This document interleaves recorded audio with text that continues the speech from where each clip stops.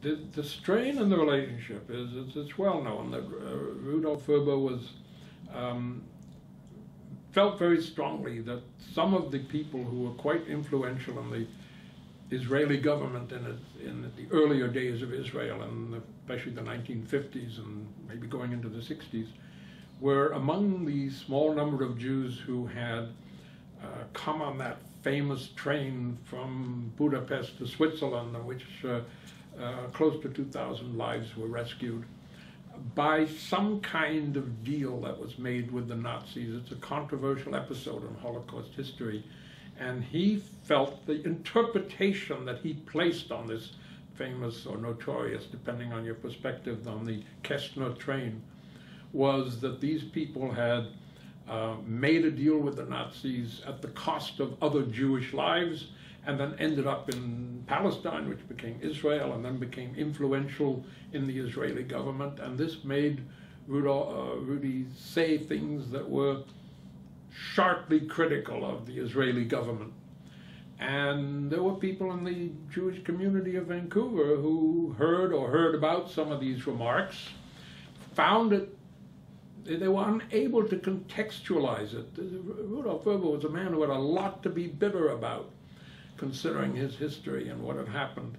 And instead of contextualizing it, they said, oh, this man is critical of the Israeli government, and that created uh, some ill will towards him in some circles.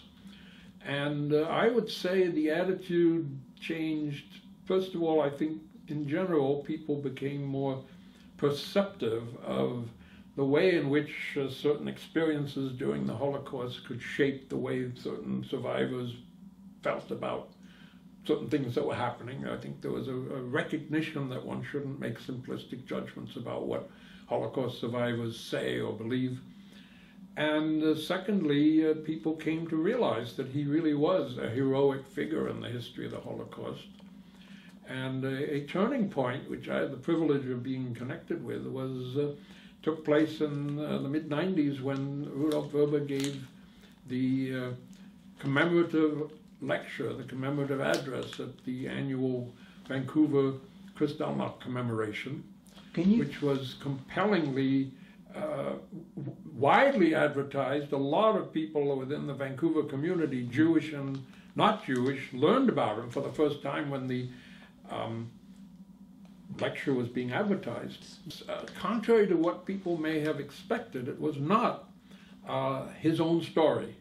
He did, chose not to tell the story of his escape and the report.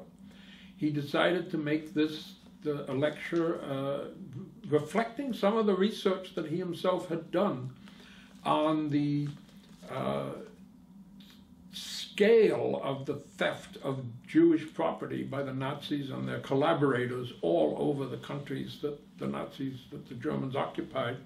He had done a fair bit of reading and, on that subject, and he wanted to present his argument that racial ideology was to some extent simply a smokescreen for the grasping efforts of the Nazis and all their collaborators in a lot of countries to grab whatever Jewish property they could, and it was a very compelling address.